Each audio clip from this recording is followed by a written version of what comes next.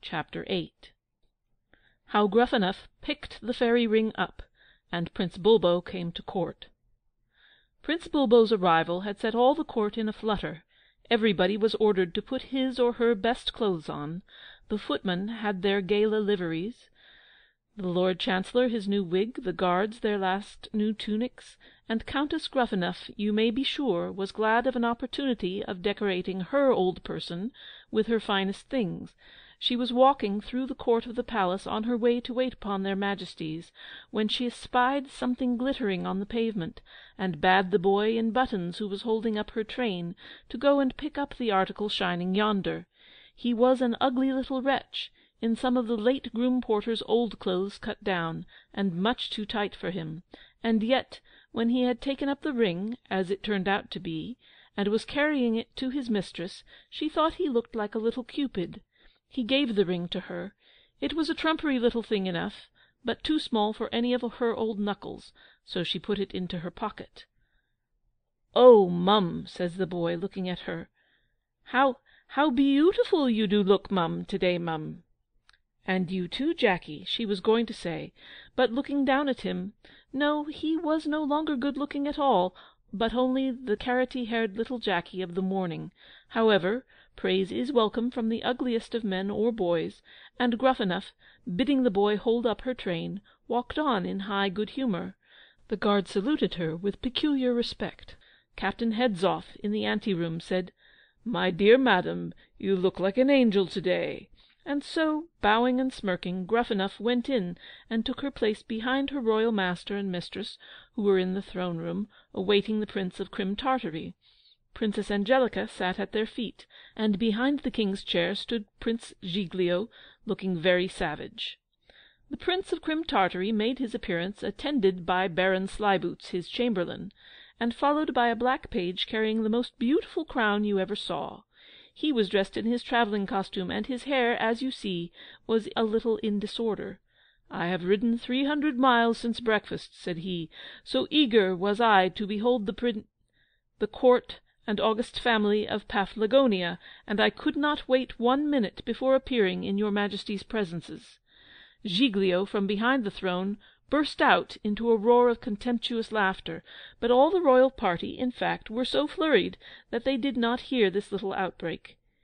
"Your R. H. is welcome in any dress," says the King. "Glumboso, a chair for his Royal Highness." "Any dress his Royal Highness wears is a court dress," says Princess Angelica, smiling graciously. "Ah, but you should see my other clothes," said the Prince. "I should have had them on, but that stupid carrier has not brought them. Who's that laughing?" It was Giglio laughing.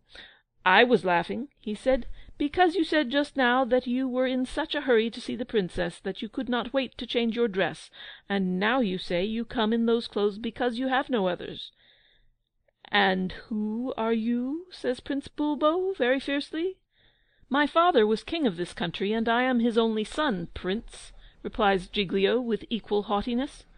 "Ha!" said the King and Glumboso, looking very flurried; but the former, collecting himself, said, "Dear Prince Bulbo, I forgot to introduce to your Royal Highness my dear nephew, his Royal Highness Prince Giglio. Know each other. Embrace each other. Giglio, give his Royal Highness your hand." And Giglio, giving his hand, squeezed poor Bulbo's until the tears ran out of his eyes. Glumboso now brought a chair for the royal visitor, and placed it on the platform on which the King, Queen, and Prince were seated; but the chair was on the edge of the platform, and as Bulbo sat down it toppled over, and he with it, rolling over and over and bellowing like a bull. Giglio roared still louder at this disaster, but it was with laughter. So did all the Court when Prince Bulbo got up. For though, when he entered the room, he appeared not very ridiculous, as he stood up from his fall for a moment, he looked so exceedingly plain and foolish that nobody could help laughing at him. When he had entered the room, he was observed to carry a rose in his hand, which fell out of it as he tumbled. "My rose! my rose!" cried Bulbo, and his chamberlain dashed forward and picked it up, and gave it to the Prince, who put it in his waistcoat. Then people wondered why they had laughed. There was nothing particularly ridiculous in him. He was rather short, rather stout, rather red haired, but in fine, for a prince, not so bad. So they sat and talked, the royal personages together, the Crim Tartar officers with those of Paflagonia, Giglio very comfortable with Gruffanuff behind the throne.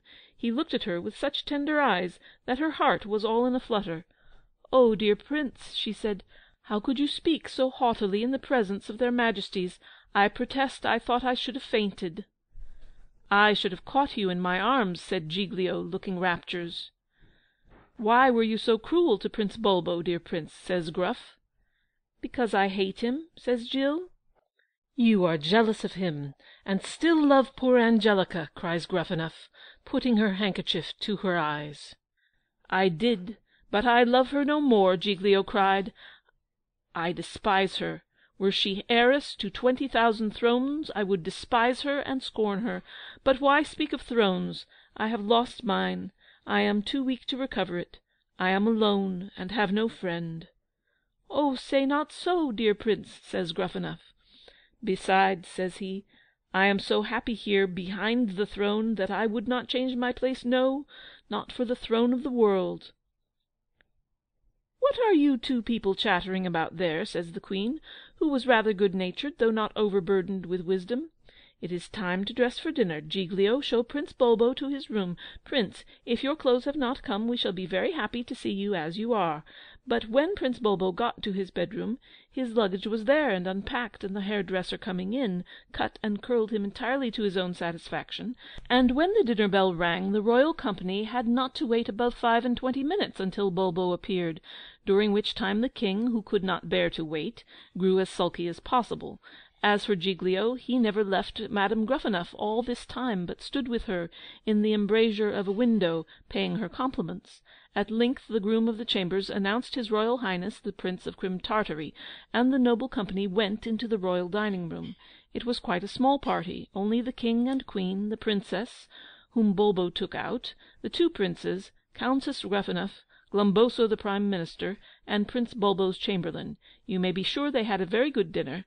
Let every boy or girl think of what he or she likes best, and fancy it on the table.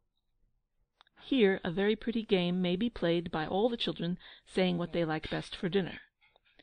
The Princess talked incessantly all dinner time to the Prince of Crimea, who ate an immense deal too much, and never took his eyes off his plate, except when Giglio, who was carving a goose, sent a quantity of stuffing and onion sauce into one of them. Giglio only burst out a laughing as the Crimean Prince wiped his shirt front and face with his scented pocket handkerchief.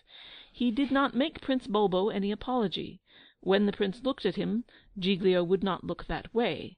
When Prince Bulbo said, "Prince Giglio, may I have the honour of taking a glass of wine with you?"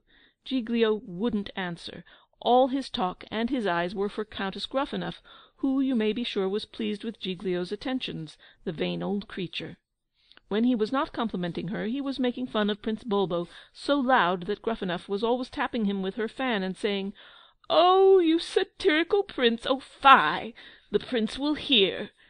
"Well, I don't mind," says Giglio, louder still. The King and Queen luckily did not hear, for Her Majesty was a little deaf, and the King thought so much about his own dinner, and, besides, made such a dreadful noise, hobgobbling in eating it, that he heard nothing else. After dinner his Majesty and the Queen went to sleep in their arm chairs. This was the time when Giglio began his tricks with Prince Bulbo, plying that young gentleman with port, sherry, Madeira, champagne, Marsala, cherry brandy, and pale ale, of all of which Master Bulbo drank without stint. But in plying his guest, Giglio was obliged to drink himself, and, I am sorry to say, took more than was good for him so that the young men were very noisy, rude, and foolish when they joined the ladies after dinner, and dearly did they pay for that imprudence, as now, my darlings, you shall hear. Bulbo went and sat by the piano, where Angelica was playing and singing, and he sang out of tune, and he upset the coffee when the footman brought it, and he laughed out of place, and talked absurdly, and fell asleep and snored horridly. Booh! The nasty pig! But as he lay there stretched on the pink satin sofa, Angelica still persisted in thinking him the most beautiful of human beings. No doubt the magic rose which Bulbo wore caused this infatuation on Angelica's part; but is she the first young woman who has thought a silly fellow charming? Giglio must go and sit by Gruffanuff, whose old face he, too, every moment began to find more lovely. He paid the most outrageous compliments to her. There never was such a darling. Older than he was? Fiddle dee! He would marry her. He would have nothing but her. To marry the heir to the throne? Here was a chance! The artful hussy actually got a sheet of paper and wrote upon it, "This is to give notice that I, Giglio, only son of Savio, King of Paflagonia, hereby promise to marry the charming and virtuous Barbara Griselda, Countess Gruffanuff, and widow of the late Jenkins Gruffanuff, Esquire." "What is it you are writing, you charming Gruffy?" says Giglio, who was lolling on the sofa by the writing table. "Only an order for you to sign, dear Prince, for giving coals and blankets to the poor, this cold weather.